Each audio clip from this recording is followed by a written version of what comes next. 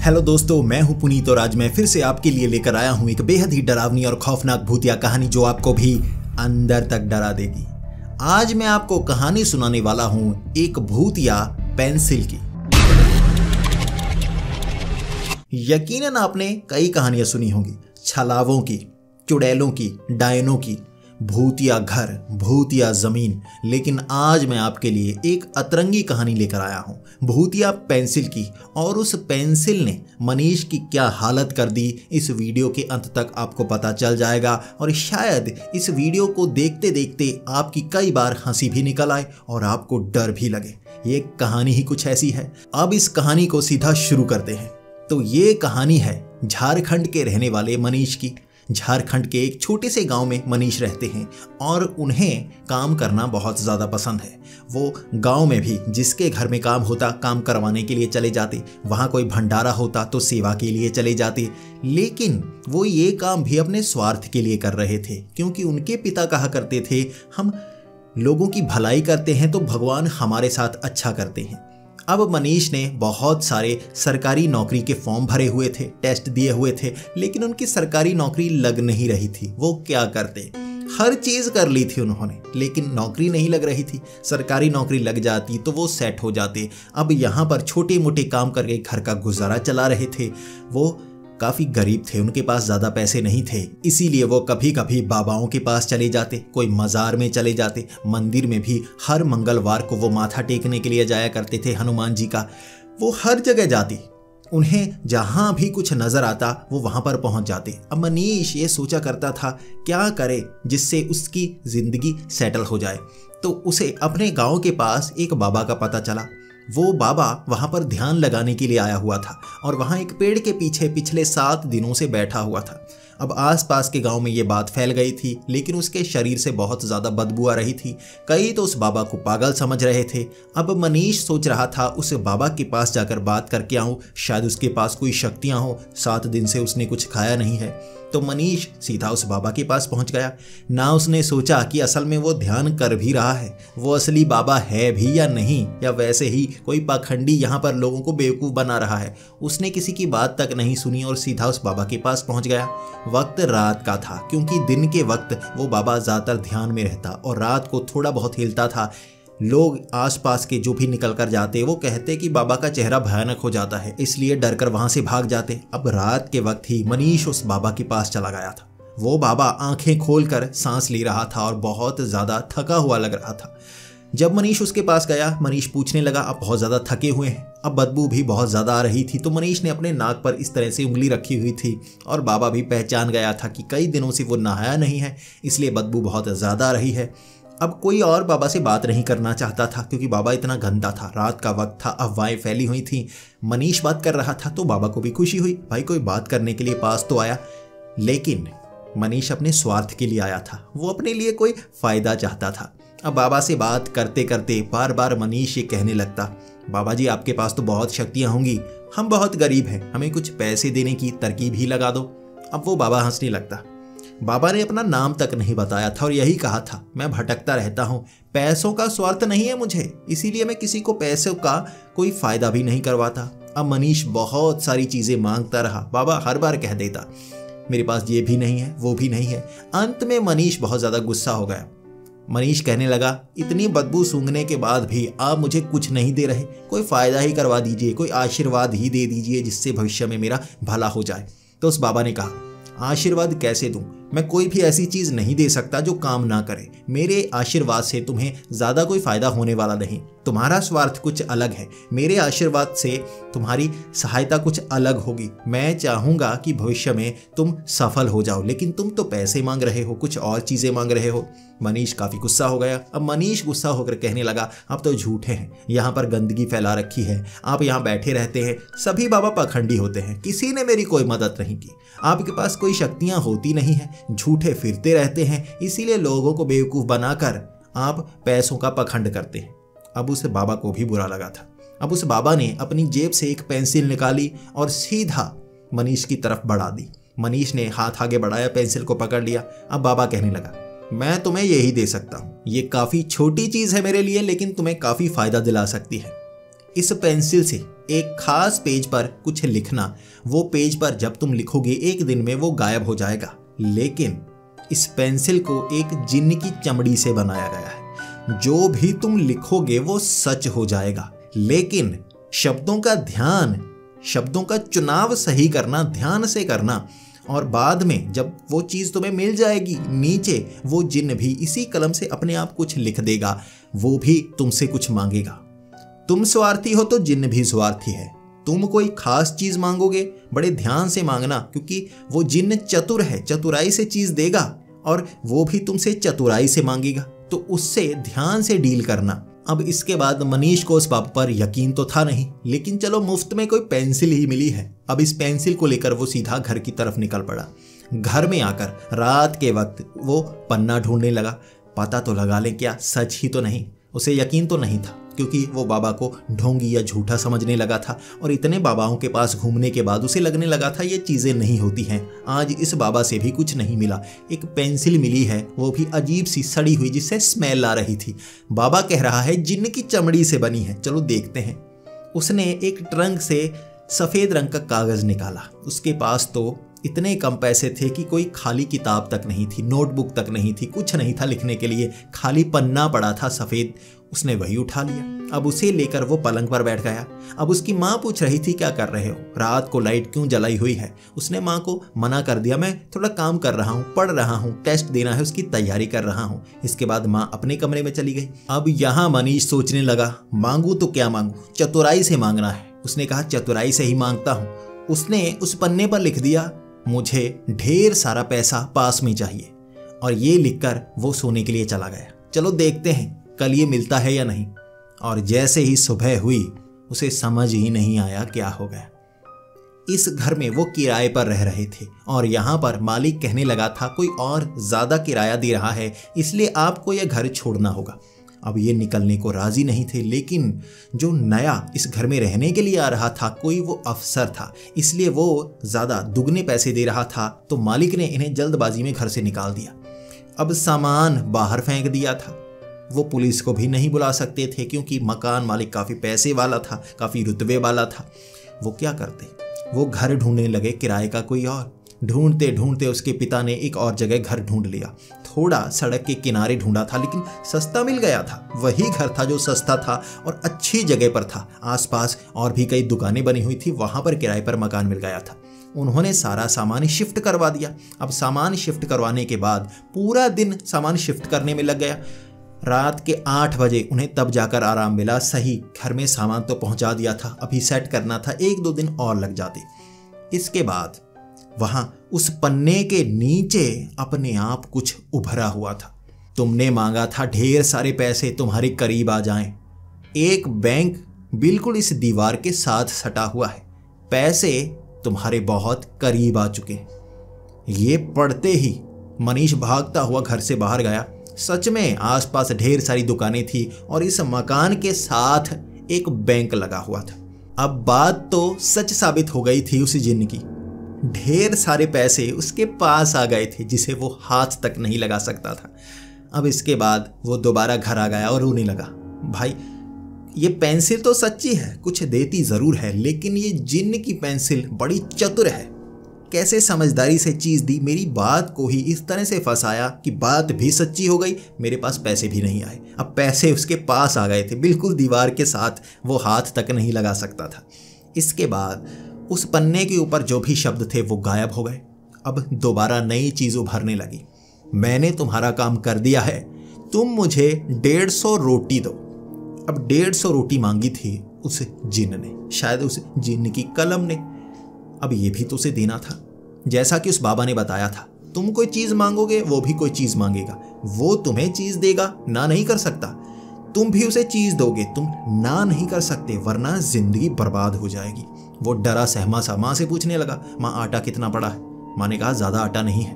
उसने कहा, डेढ़ सौ रोटियाँ बनानी है। माँ कहने लगी, मैं नहीं बना सकती।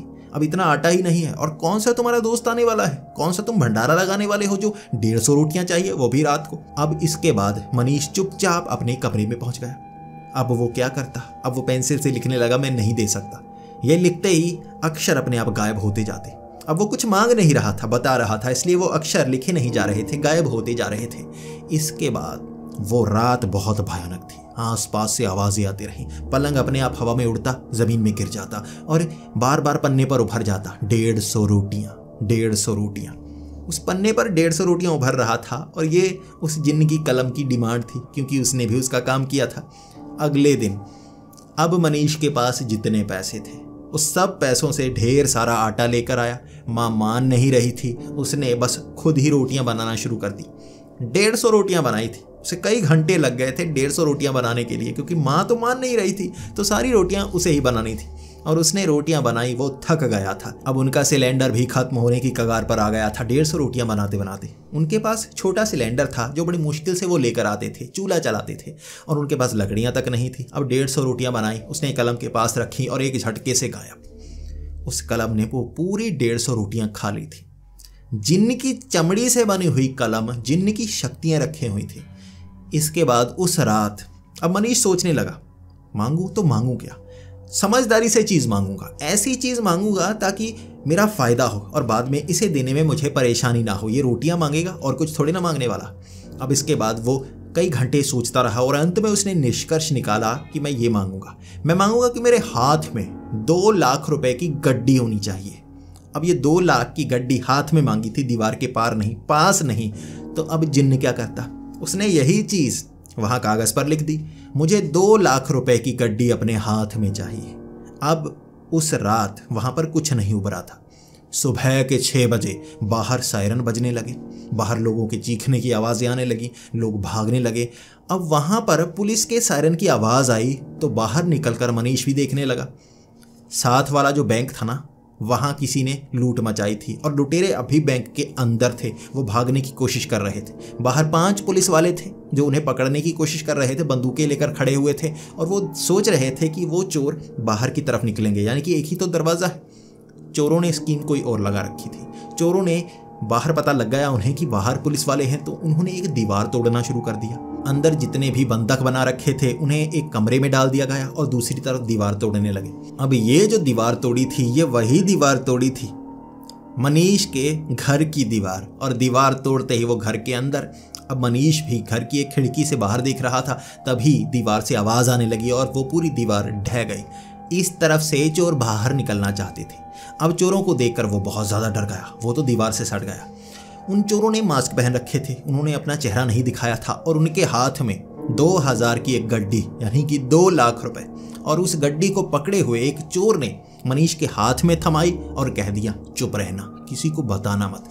ये कहकर वो तीनों चोर बाहर की तरफ़ भाग गए और पीछे से चीखों की आवाज़, चोर इधर गए, चोर इधर गए, और पुलिस वाले भी अब इस घर को भी घेर चुके थे। एक घंटे मशक्कत चली थी, उसके बाद चोरों को पकड़ लिया गया। अब चोरों को भी पकड़ लिया गया था। उसके बाद चोरों ने यह भी बता दिया कि पैसे की गड्ढी अब एक लड़के के हाथ में पकड़ाई है। मनीष के हाथ में दो लाख की गड्डी थी, जो एक घंटे उसने पकड़े रखी थी, ज़मीन तक पर नहीं रखी थी और पुलिस वाले उसके हाथ से उठाकर ले गए थे। वो कुछ नहीं कर सकता था।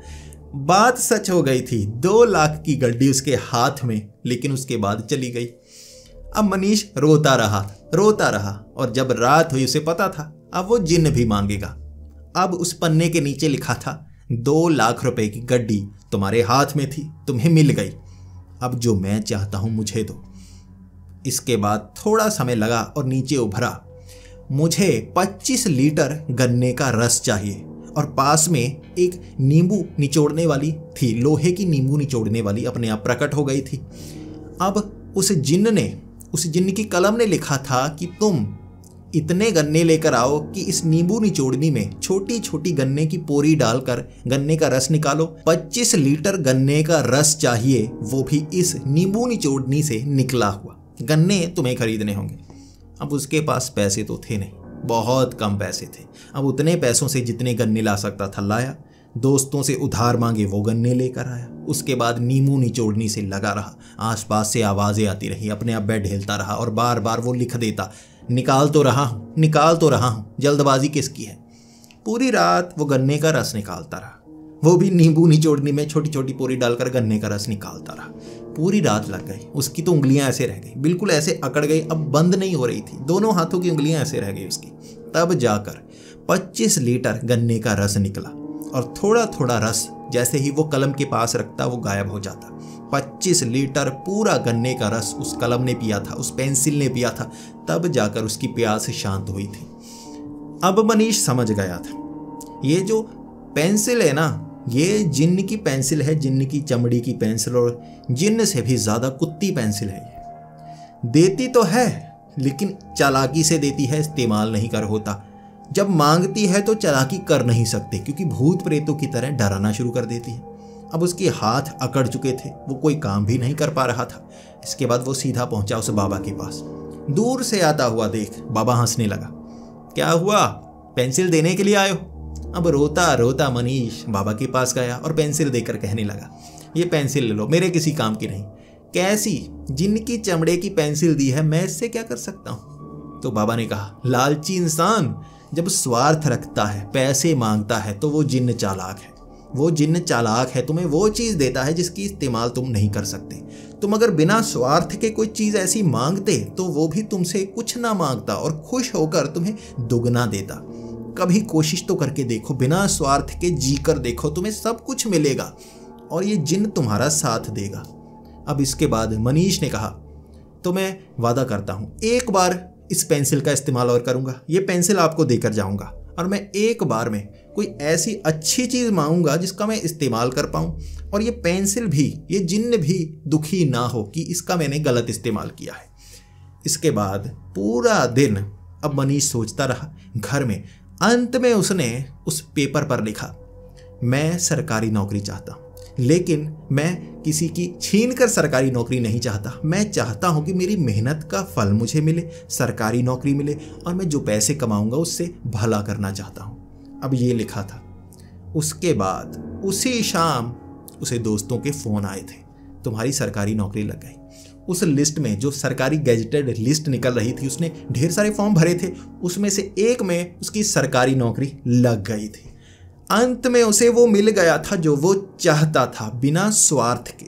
और वो बहुत ज़्यादा खुश भी था और उसके अंदर एक डर भी था। अब शाम को जब ये कलम मांगेगी तो क्या मांगेगी? अब फिर से वो गन्ने का रस ना मांगे जो नींबू निचोड़नी से निकाला है। भाई 25 लीटर गन्ने का रस निकालकर उंगलियाँ तक अकड़ गई थी जो एक हफ़्ते में ठीक होंगी उसकी। अब शाम आई, पन्ने पर कुछ उभार आया था, उसने पन्ना मरोड़ा और जेब में डाल लिया। पेंसिल लेकर बाबा की तरफ़ निकल पड़ा। अब बाबा बचाएँगे। मेरा काम तो बन गया है, लेकिन कुछ ऐसा ना लिखा हो जो मैं कर ना पाऊँ। अब टांगों से ना कुछ करवा दे, कोई भगा ना दे पचास साठ किलोमीटर, मेरी टांगे ही टूट जाएँ। अब बाबा के पास पहुँच गया वो। मनीष बाबा के सामने कहने लगा, ये पेंसिल ले लो। बाबा कहने लगा, पेंसिल तो मैं ले लूँ, लेकिन ये पेंसिल का रंग बदला बदला लग रहा है। इस पेंसिल ने जो काम कहा है, वो नहीं माना है तुमने, वो किया नहीं है तुमने। अब मनीष सर झुकाए हुए कहने लगा, कोई ऐसा काम ना हो जो मैं कर ना पाऊँ। मामा ने पूछा, क्या मांगा था तुमने? पहले ये बताओ। तो उसने सब सच सच बता दिया। मैंने सरकारी नौकरी मांगी, लेकिन मैं किसी की छीन कर नहीं मांगा। मैंने ढेर सारे टेस्ट दिए हैं। मैं पढ़ने में बहुत अच्छा हूँ बस सरकारी नौकरी लग नहीं रही थी। शायद मेरी किस्मत में नहीं थी।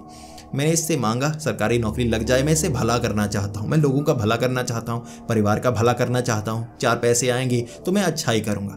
लेकिन अब मुझे डर लग रहा है कि इस पेंसिल ने क्या मांगा होगा। कल की उंगलियाँ अकड़ी पड़ी हैं मेरी, अब कुछ और नहीं कर सकता। बाबा हंसने लगा। आखिरी चीज़ पढ़ तो लो। अब मनीष ने डरते डरते वो पन्ना खोला और उसमें लिखा हुआ था, तुम्हारे पसंद की चीज़ तुम्हें मिल गई, अब मेरी पसंद की दो। सरकारी नौकरी लग चुकी है तुम्हारी, ढेर सारे पैसे कमाओगे, पैसों का इस्तेमाल अच्छा करना, गरीब बच्चों को थोड़ा खाना खिला दिया करना। किसी को भूखा रहने मत देना, बस छोटा सा काम है। अब इस काम को देखकर बहुत ज़्यादा खुश हो गया था मनीष भी, क्योंकि मनीष भी तो यही करना चाहता था। अपने गाँव में जो गरीब बच्चे थे, वो कुछ ही थे, लेकिन वो उनकी साथ भला करना चाहता था। इसीलिए वो पैसे चाहता था, इसीलिए वो अमीर होना चाहता था, उनकी भलाई कर सके। उसका अपना स्वार्थ भी था, वो अमीर होना चाहता था, चीज़ें खरीदना चाहता था, लेकिन भला भी करना चाहता था। अब वो जिन्न की कलम भी वही चाहती थी, वो भी भला ही चाहती थी। ये बात सुनकर मनीष बहुत ज़्यादा खुश, क्योंकि उसकी पसंद का ही काम मिला था। उसने बाबा का धन्यवाद किया और उस पेंसिल को भी वहीं रख दिया, क्योंकि उसे लग रहा था, कल मुझे लालच आएगी, मैं पेंसिल का कोई ना कोई गलत इस्तेमाल करूँगा और फंस जाऊँगा। शुक्र है कि उसने उस बैंक में नहीं फंसाया, कहीं फंसा दिया होता तो कहीं और ही पहुँच जाता। इसके बाद मनीष वो सरकारी नौकरी करने लगा। कुछ पैसे उससे निकालता और गाँव के गरीब बच्चों की मदद करता, उन्हें पढ़ने में मदद करता खाने पीने में मदद करता और गाँव की चीज़ें बनाता। शायद इससे वो पेंसिल भी खुश होगी। उससे भविष्य का पता होगा कि ये क्या करने वाला है। अब इस कहानी से मनीष ने ये तो सीख लिया कि शैतानी शक्तियों का भी सही इस्तेमाल किया जा सकता है। लेकिन आपकी सोच अच्छी होनी चाहिए। अगर आपकी सोच में लालच और स्वार्थ आ गया तो वो भी ऐसा ऐसा दंड देते हैं कि आप समझ नहीं पाते। दस दिन लगे थे, उसकी उंगलियाँ तब जाकर सीधी हुई थी। ऐसे काम करता था वो।